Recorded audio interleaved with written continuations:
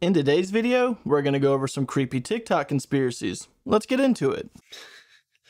Well, what if I told you that I can prove to you in one minute's time that giants do exist? So first of all, you've probably seen a lot of photos like these ones showing, you know, actual giant skeletons. Now, of course, there's a lot of people that get pretty angry about these photos saying, oh, why do they get so angry about these photos? Well, because they're fake.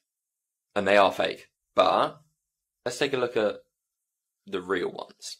So, first of all, let's have a look at these six and a half foot femur bones. Now, these were literally confirmed as real by archaeologists, so this isn't fake. But of course, these were deemed as being dinosaur bones. Now, I can't help but think, and I see a lot of people say the same sort of thing, you see all these giant bones, how come everybody just instantly assumes, oh, it's a dinosaur? Now, of course, that's one thing. It probably is a dinosaur, but, you know, it's just an example. Take a look at this mummy, Cap d'Oie from the 1600s. A two-headed mummy. A two-headed mummy. What? Nah. Yep, this thing was alive back in the 1600s. I mean, it's possible to have two heads. Pretty rare, but you could. Not when you find out that they were over 12 foot tall. Now this is on display in a museum, and again, has been confirmed by archaeologists and physicians and scientists, so this is real again. Now, if this doesn't prove to you giants did exist at one point or another, I don't know what the flip will. This giant skeleton was discovered in Ecuador, and is 100% guaranteed to be real as well. Do you want to know how tall this one was? 23 feet tall. But they haven't confirmed that it was a giant person. They said it is an ancient giant sloth. Now, of course, there are tons of other examples of this giant footprints found in South Africa, all across the world, these other things which have been found. But yeah, I want to know your thoughts in the comments down below. Did giants used to exist? Make sure you hit that follow button and I will keep you updated. I personally believe that giants at one point in time did exist. I don't know if it was just the foods that we were eating or what happened necessarily to make us not giants, but giants I do believe existed. In this reference, there was a 12 foot tall, two headed giant. I believe that that was probably the common height of giants back in the day, but why don't we have them now? Why, where are they at? There was this trending game on TikTok that was going around. It's called the cat scratch game. And this is something like you play during a sleepover because you just want to fuck around and see what happens, right? One person has to be sitting cross-legged on the floor. Another person has to be, their head has to be on your lap. So like, just like this, like laying down, right? Yeah, yeah. And you have to tell a story about a cat while you're like rubbing the person's head. So an example would be like, my grandma had a cat it was beautiful and it purred. And then you have to say, after every sentence, you have to say, cat scratch, cat scratch, cat scratch, right? Mm-hmm. And then, but my cat got hit by a car and the grandma also did too. Cat scratch and you keep going, right? Yeah, yeah. When the person stands up, you have to tell them to show their back. Why? And if you did the game right and everybody that I was reading did the game, there was three cat scratches Oh. on, I'm just kidding. that was good. That was on their back. yeah. Yeah. But one person said that when they were trying to take a photo of the cat scratches, uh, their phone on full battery died. Oh, that's crazy. And, and when they recharged it, the photo was gone. nah, that's fuck. I always ask these questions. Where do people come up with the idea to play these games? Like, is it just a spur of the moment, like, oh yeah, let's play a game called Cat Scratch, and you just lay on your back, I'll rub your head and tell you a story, and in between every sentence, just say Cat Scratch three times. Like, who comes up with this? There were castles and big, massive buildings in America before Columbus in 1492 and that whole story, before he even got here. So if there were already all these massive castles, massive buildings, and all these people, big people too, before 1492, then how did they have the technology while Christopher Columbus is coming over on his cute, you know, Santa Maria or Pinta or whatever it was, those the three ships that they used. And where are those ships? How come we don't see those ships? How come we don't see those today? It doesn't make a lot of sense. Wouldn't those be like put in a museum? Wouldn't you put the three most important ships of America in a museum? We don't see those either. And that's the thing. There's so many parts that are missing in which we don't see, but then we see all this nonsense over here. What about the Egyptian-like artifacts found in the Grand Canyon? Yes, same exact thing. So you have Egyptian artifacts in the Grand Canyon in Arizona. When I was in school, I was told that those boats were used to build different buildings and forts and things like that. I don't necessarily believe that. I'm not sure if I believe in the old Earth theory either, where there was castles and buildings and things like that. I mean, truthfully, there could have been. And when Christopher Columbus came over to America, he could have potentially started a war with these people and completely rewrote history in their favor. What do you guys think about this? I have a hard time believing it went exactly like how history was told. I always think history stories are kind of false to a, to an extent, but who knows? Do y'all ever feel weird when you go in Walmart? It's like a bad vibe or a bad cloud or something dark is in Walmart. Some of the workers have a bad attitude. A lot of people don't really want to be at work there. They looking at their money, but their energy is bad. It's always something going on at Walmart a fight. The police are being called up there. Crazy stuff happening in the parking lot. Women got to be safe in the parking lot, walking to their cars. A lot of people been kidnapped at Walmart. You ever notice when you go in Walmart, they used to have pictures of kids that are missing, never been found, ever been found. Now they got all self checkouts, only a few registers open, and then they done changed everything around up in their store. It's like they done downsized everything. It's so confusing. The things you used to find, you can't hardly find it. You gotta ask where everything get. You gotta relearn the whole story all over again. And the management, man, when I say the management has a bad, bad attitude. I don't know how much they paying these managers, but the way they be treating them workers, it ain't right. Money is the root of all evil. Because soon that money get in their hand, people change their mind. They change the way they treat people. It's like something gets in their spirit when they see all that money. They see power. They see control. They step on everybody. They want to be on top of everybody. It's like they want to be up high and they step on the one down low. It's like you got to work so hard at Walmart just to get a position. And they only give it to people that they like or they cool with. You go in Walmart, the money gonna come out your pocket because you buy one thing, you gonna buy 20 things. You think you gonna spend $10, you spend 50. Let me know what y'all think. I can't be the only one. I do know that there's a lot of good employees at Walmart, at least the one in my area. There is really good employees. Now, is there bad employees? Yes. And there's really bad customers. There's a lot of people that act inappropriate at Walmart for some reason. Maybe it's just the area that I live in. I really don't know. How do you guys fare with Walmart? Is Walmart a uncomfortable place for you or is it just a normal store? For me, very unpleasant to be inside of a Walmart. Hey, if you haven't done so already, go ahead and like the video and subscribe to the channel. I only ask once per video and I make a video like this almost every day. And if you look at this graph here, you'll see that 23% of the viewers that watch my content are actually subscribed to my channel, while 76% of the viewers that watch my content are not subscribed to the channel, but keep coming back for more of the content. So to the 23% that are subscribed, thank you so much. And to the 76 that aren't subscribed, I appreciate you nonetheless. Thank you for watching. This is a phrase I coined when examining old photos in 2018 when I began looking at photos myself with respect to mystery history and investigation in the videos that I did on my YouTube channel called UAP after seeing Martin Liedtke's work on his channel.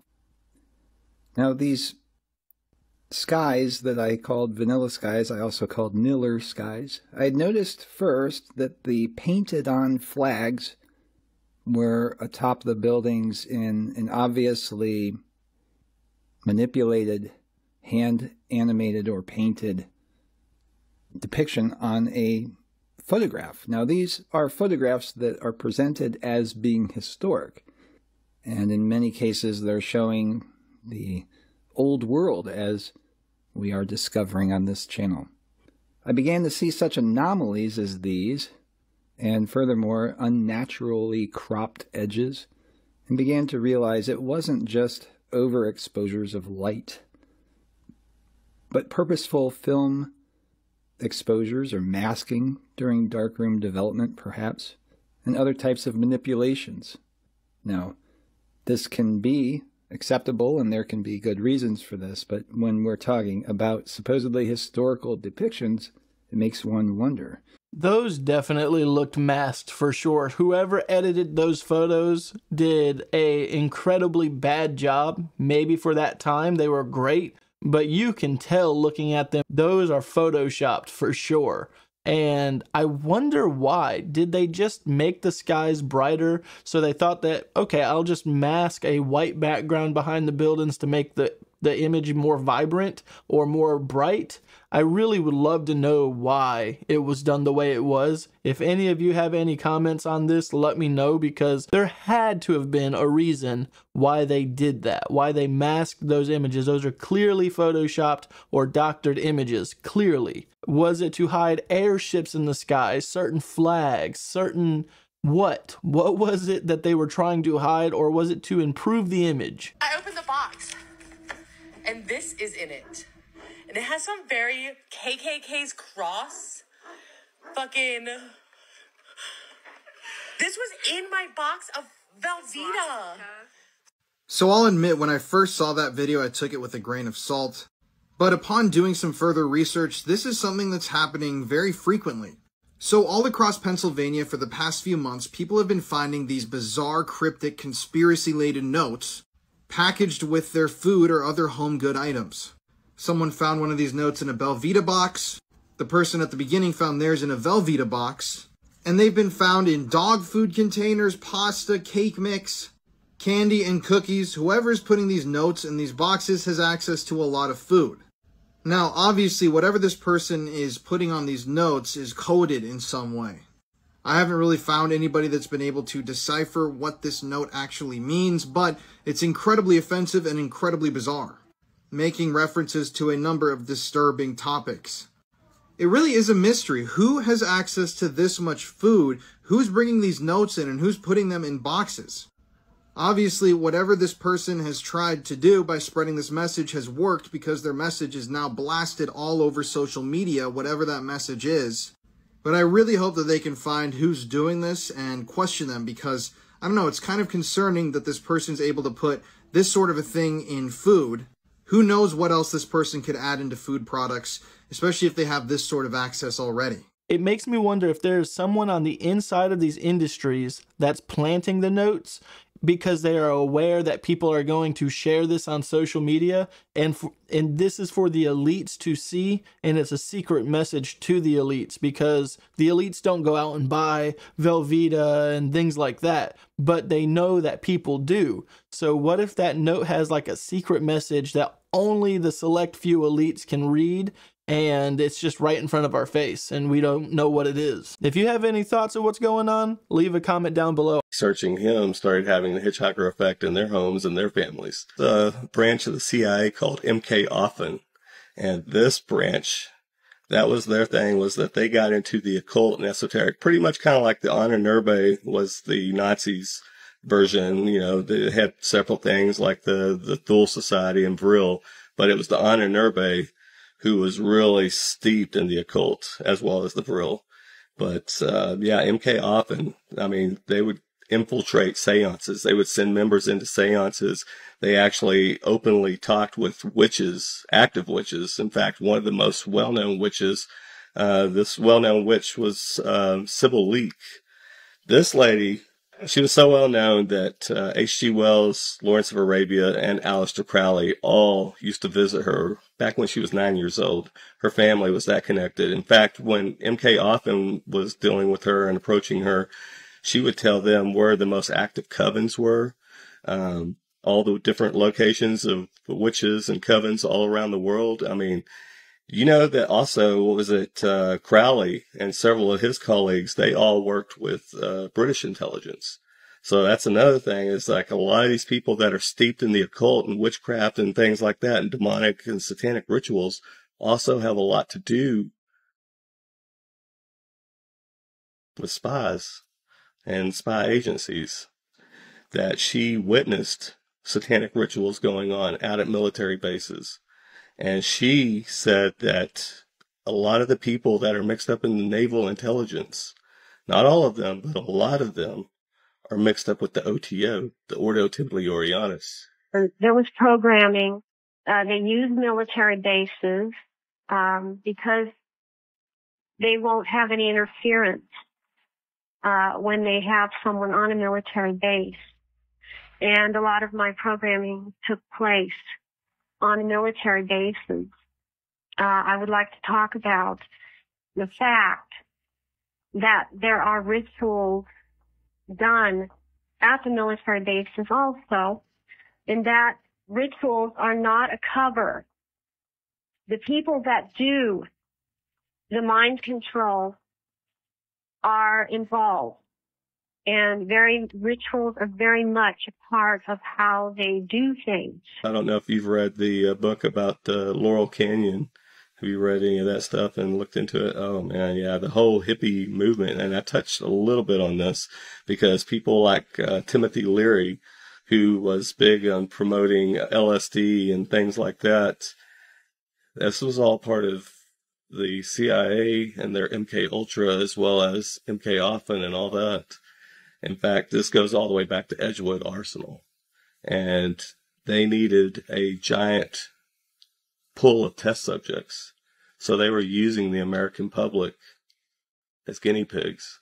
They've been dealing with satan, they've been initiating satanic rituals at all levels of government because they are trying to tap into these things. They, they want to make contact. It's no different than John Dee back when he was the, uh, the person that worked for Queen Elizabeth. I've often wondered that if there is secret agencies out there, if they utilize people that have special talents, like being able to remote view and astral project and all of that. I also I'm not super familiar with Aleister Crowley. I keep hearing about this individual. The only things that I know about Aleister Crowley is that he was a pretty bad individual as far as doing satanic stuff and things like that. But I'm not 100% sure about Aleister Crowley, and that'll probably get me a lot of hate because apparently he's a very popular individual that a lot of people know about. So you can fill me in on the comments on him if you want. I have not personally gone out of my way to search anything about that individual, but I do feel like there's secret agents out there that have those special abilities. There was an event that took place back in the late 40s known as the Babalon Working Ritual. Now, this was a ritual that was carried out by Jack Parsons, uh, JPL. You know, people will even to this day say that JPL stands for, for Jack Parsons Laboratories, but on paper it's Jet Propulsion Laboratories. JPL is major. It's a historic. I mean, so much surrounding this, so much history here. Uh, Jack Parsons was not professionally trained, yet he was tapping into high technology and building rockets. How do you do that without any type of formal training? There were no rocket programs in America before Jack Parsons. This is paramount to understand. This guy was tapping into you know, theosophy, Thelema, Thelema, the, the religion of Aleister Crowley. Uh, he was a disciple of Aleister Crowley, and he was working with uh, L. Ron Hubbard, who was the founder of Scientology. Interestingly, not only did L. Ron Hubbard uh, start Scientology, but he was a science fiction writer. Mm-hmm. Uh, the movie Battlefield Earth with John Travolta, well, that was written by L. Ron Hubbard. Interestingly, also, John Travolta is a Scientologist, right? Now, I mention this because this is a man who writes science fiction, yet he started a religion based on science fiction there has to be something in there where he's getting these clues and these these ideas. He's getting these from another realm. Of supernatural activity that took place after that ritual was performed. Babalon Working was successful according to Jack Parsons. Uh, matter of fact, Parsons said in his Antichrist Manifesto that they were successful and that a child, a child was conceived in that act and that there was a spirit known as Hilarion. The government puts together this group that says we're going to get answers to what exactly took place out there in the desert in California by Jack Parsons and L. Ron Hubbard. They go to Jack Parsons, and keep in mind, Jack Parsons is also working with the government. He's now been given, you know, special privileges on things. So they go to him and they say, Jack, all of this stuff that's happening right now, did you do this? did you do this? And you know, he said, I think so. Now, shortly thereafter, Jack Parsons blows himself up in a lab. Accidental. It was not intentional. Belief was that whoever opened up the portal had to close the portal. Well, Jack Parsons is now dead. Wow. And the federal government is now having to understand and, and depict exactly to the public what's happening here. And so this group is researching, and out of that group, they finally start to make some headway. They know they're dealing with entities. And so, in all of that, they begin to try to make contact with those entities, maybe for some help, Maybe because they're trying to figure out how to close this thing. Maybe they're trying to figure out how to undo what Jack Parsons did. So they go through satanic rituals to communicate because that's the only method of communication that they know that works to contact these entities. In doing this, there's a small faction known as the Collins Elite. But once they began to engage in satanic rituals and magic and alchemy, this group says, "Hey, you know what? This is this is not what we signed up for." This small group raises up. It's a faction. It's a counterpoint group, which means that they are no longer in agreement with the big group. They have a different opinion. They say we have a Christian worldview. This goes against our Christian worldview. And so they see that entities are being channeled and communicated with, and now technology is being given through these rituals to these other members of the government. So the Collins elite says, whoa, whoa, whoa, this is dangerous. You guys are really playing with fire here. We can't support this. We can't do this. And they came up with this idea that the aliens were going to take over and that in order to protect our country from the aliens, from the entities, they believed that we needed to instate a forced theocracy based on the law of Moses. Okay, this was what's known as a limited access program or an LAP. Uh, a limited access program means that nobody in Congress has to know about this. The Collins Elite were a counterpoint group within different governmental organizations that were they were party to satanic ritual. It's it's so crazy to me that so many organizations do these dark practices to what move forward, gain more wealth. I, I guess I really do not see why they do that. What what is their full gain? Is it just money? Is that really why they practice these rituals and do these types of things? Because I just don't see that being worth the risk of your life. I, I mean, maybe I'm in the wrong as well because I question religion and I question what's outside of my spirit. I do not practice anything that's supposedly dark magic or anything like that. And I feel like that is risking a portion of yourself that's not worth risking. And something in my gut tells me that. So I feel like that's a good thing to stay away from. But it just always fascinates me that all you hear about these big organizations is they practice satanic rituals. And it's like, why? What does that really get you? And apparently, this Aleister Crowley had a big hand in a lot of that kind of stuff. Like, a lot of people followed his methods, apparently. That's really crazy to me. Why don't we ever see houses this beautiful built anymore? Where did beautiful homes with the amazing columns, with the brick, with the beautiful, amazing architecture, craftsmanship, like look at the character up at that roof line. What happened? Why were the homes built in the late 1800s and early 1900s so much more beautiful than today's million dollar homes? No one will convince me that modern homes that are millions of dollars like this will ever, ever, ever outlive and be more beautiful than homes built in the late 1800s and early 1900s. To me, this is a snooze fest compared to what used to be built. It's 2024, you have millions of dollars, and what type of home are you going to build? This, this modern beauty. All white, looks like one big long rectangle. I don't know, like, no one can convince me that this is prettier than the homes built in like 1888. No one. 100 to 200 years ago, they made homes with a of collar with wraparound porches. They had different shapes of windows. They had beautiful architecture lines. And I guarantee you, inside this home are the wooden pocket doors with just wood everywhere.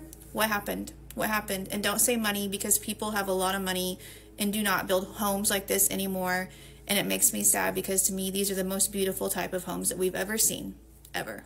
So cute and charming. I feel like craftsmanship is out the window, and nowadays people are just all about profit and they want to know what they can build quicker, but still, still expect people to pay a lot of money.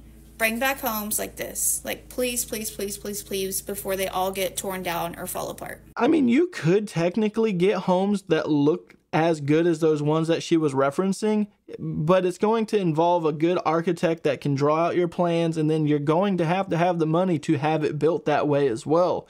So it's still possible. It's just people really don't take the time to have that done. They just do a cut and dry version of a home. Now, me personally, I do mind, I, I do like the modern style looking homes. I really like that square or rectangular shape. I, I think that those are really kind of nice to me for some reason. But it, it would be nice to see more homes being built like the old style of houses. I, I really do enjoy their look as well. Fair warning, and I'm not trying to be dramatic, please do not watch this at night. And if you are watching it at night, please turn on a light because this terrified me. So I was sent a story along with video proof of something recently, and while the story is scary, the sound in the video itself was enough to make me nauseous. So let's get into it. So this follower purchased a duplex where she lives on one side and her sister lives on the other. Well, one night they are all sound asleep in bed, and she wakes up to her sister banging on her door, ringing her doorbell, doing anything she can to wake her up. So, of course, she wakes up in a panic, goes to her door, opens it, and her sister is like, Are you okay? She's like, Yeah, I, I was asleep. Are you okay? Like, why are you banging on my door like that?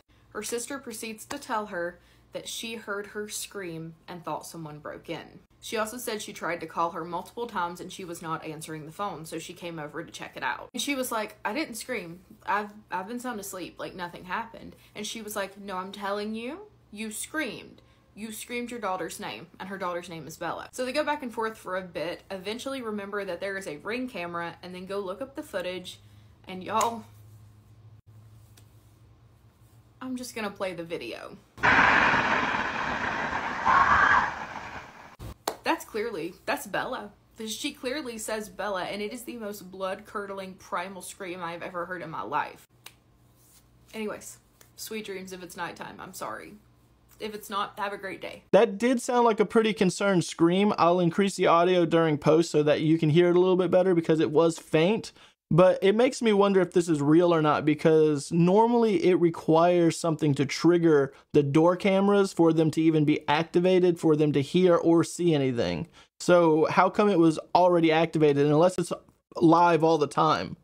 The Federal Reserve. After researching it yesterday, I was so blown away mm-hmm. because it feels like this is a great representation of us living in the Matrix. 1913, President Woodrow Wilson was elected. When he was running for president, he was adamant of speaking against the Aldrich Plan, which is the Federal Reserve. Yeah. But then had a meeting with the same dudes that came up with the Federal Reserve and compiled this idea where it's like going to pretty much be run by private banks, but let's broaden the term to where it's sounds like it's a sect of the government, hence the term Federal Reserve. Yeah. Federal Reserve is not owned by the US government. It is its own private institution. They created money, but the government owes interest on that money. We're so far in debt to the Federal Reserve. I think the amount that each American would have to pay to get out of debt is like $250,000 per American. So we're in a sense enslaved to this private institution. They control everything. I just find it so crazy that we got caught up in basically a mafia scheme and now we are suffering the debt from it. Like that that don't make no sense. So if this is really an avatar, then who's holding where am I located? Because I'm I'm asking higher intelligence and they're trying to show me that like my eyes are gathering data. True. My ears are gathering data. My senses are gathering data. That's what they're telling me. And that's why I feel like I'm here. It's it's weird to me and I don't have an answer for it. Why why am I every day I'm, I'm Krystle? Why am I not Jim? Or was I Jim? You know, Mary. Why am I this character and why am I I don't have access to be all the characters if I am all the characters? Like doesn't make sense. Also one day they said you're not in your body, but you're like you're like perceiving through it. Kind of like spatial computing goggles. We're looking into this reality. Gathering the data. Oh. Oh, shoot. You know how, like, you put on the spatial computing goggles and you're walking around in a living room? The spatial. Ooh! The spatial computing goggles are telling you you're in a living room. Or, like, you take your avatar and you walk outside okay. And so we think we're outside, but it's just it's just a virtual world. And we think we're there. So just so you oh my god. Just because you can see a living room all around you doesn't mean you're in the living room. So again, I just got the answer. It seems so easy, and now I feel so stupid. But I've been asking that question forever. Like, why do I feel like I'm in my body? I got the answer. I got it. Now, higher intelligence showed me that what we really are doesn't have a form. It can be and do all things, so it's doesn't have a form. So this allows us to have a form. So it showed me that it's like split itself up, or it's oh, it didn't split itself up. It's perceiving itself through all of us. But then right now, when I was brushing my teeth, it said through everything. Like it could be perceiving itself through the tree. Maybe that's the all seeing eye. That's the quantum seeing all. But that's that was crazy. Just because we see a room around us doesn't mean we're actually in it. You know, I'm not a huge believer in the we are living in a virtual reality world. I remember listening to the biology teacher, and I would ask him if we have cells and microorganisms in our body and they're keeping us alive, they have a function to keep us alive, then that would mean that I am them. They are me and I am them. I know that sounds so crazy, but if they are truly keeping me alive, then they are more me than I am, and I am just a collective thought of all of the organisms in my body. And they are what's keeping me going and thinking the way that I do so that they can live longer. And that always upset my teachers because my teachers are like, oh no, that's God. God's speaking to you, God's giving you the way to go. And to me, I always just thought maybe it was just the organisms in my body and I just hear their collective thoughts and I think they're my own thoughts. I know it's really crazy and I'm rambling, so I'm just going to go ahead and stop there. But let me know your thoughts about this because I can't be the only person that thought the organisms in our body was like a, a hive mind and I was just a part of the ride, right? Stop thinking too much. Don't go into the past. Don't go into the future. Be in the present because only then it's possible that the mind is free, the capacity is free, and now you completely immerse into whatever you are doing. And this means you have arrived. You have arrived. Basically, that's what my teachers told me. Of the system, how do you break out of the matrix? A lot of you guys are starting to wake up to the fact that there's something very wrong about the world, reality, how things are run. Now, first and foremost, you have to understand your consciousness works through your mind mostly. You need your eyes, your ears, and your senses to perceive. And the people in control understand that to the fullest extent. This is why your mind is extremely programmable. The subliminals they have in music, subliminals they have in television shows. The news you consume, the things that they feed you, it programs your mind and actually, in a way, dictates to you what you should manifest for yourself. Not only that, they also program you through your DNA. Everything you do affects your DNA. And I know science is like, oh, that's not true. It is true. You just don't see the immediate effects of it. But if you eat a really shitty diet, you will affect your DNA, you will affect your health. And they know this, so they also, you know, temper with your food. They make sure that you're not getting enough sufficient nutrients. This is why you have to take supplements. Now that you know this, you have to start to back away from your mind.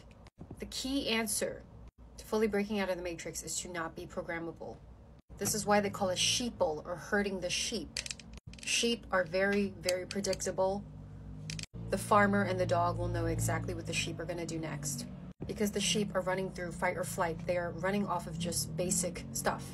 But when you get into the heart, then you become extremely unpredictable and unprogrammable. This is why the ancient Egypts, I feel like there was a dual meaning, but one of the most important meanings is in ancient Egypt, the pharaoh has to get his heart weighed by a feather when he passes on to the afterlife. Now, the afterlife for them was some sort of like paradise, right? Well, this is kind of a metaphor for if you want to get away from the matrix, if you want soul ascension, if you want to be your true sovereign self, you need to use your heart, and your heart cannot have any gunk or useless things in it. Notice how every single culture of spirituality, talking about ascension, talking about God or a higher power, never really mentions the mind. It always talks about the heart. And it's funny because I'm wearing green right now. And green is responsible for the heart chakra. When you follow your heart and your heart has to be healed, it has to be healthy. You cannot have a heavy heart. you will easily break out of the matrix. You will be extremely unpredictable to these elite. Because these people in control, they don't really have creativity. They're not really connected to their heart chakra. They are fully in their mind and their root chakra. Root chakra meaning their fear or the obsession over material things. You will become like a mystery to them. They will not be able to read you. And if every single human taps into their heart, this whole system it will fall apart. And that's a good thing. This is why it's called your humanity. Humans are meant to have a heart, but they're forcing us not to have a heart. Please remember to tap back into your heart. I mean, I don't necessarily disagree with what this individual is saying, but I do have a couple of things that I would like to add. I do not think that if you have a good connection to your heart chakra and all that, that you're going to throw the elites off. I personally think that the elites have all access to all their chakras and they just use it in a negative way because it benefits them the most. But they are not dumb when it comes to this. They know how to utilize all of the chakras, all of the religious aspects of rituals and things like that. They're very aware. It's just when you have access to all of that, they can't do anything to you because you are now a part of that system that doesn't get affected as like they do. So I definitely believe that if the elites go for the chakra thing, they have all access to the chakra. And that's how they manipulate and are able to do as much as they do. Let me know on your thoughts of this because I might be completely going off the walls with that one. But I really think if there's a way for a common person to know about chakras and how to unlock all of this hidden potential, the elites definitely know about it and they give us access to know about it. All right, guys, I'm going to go ahead and end this episode here. As always, if you are interested in any of the clips, links are in the description down below in the order that we watch them in. And with that being said, have a good day.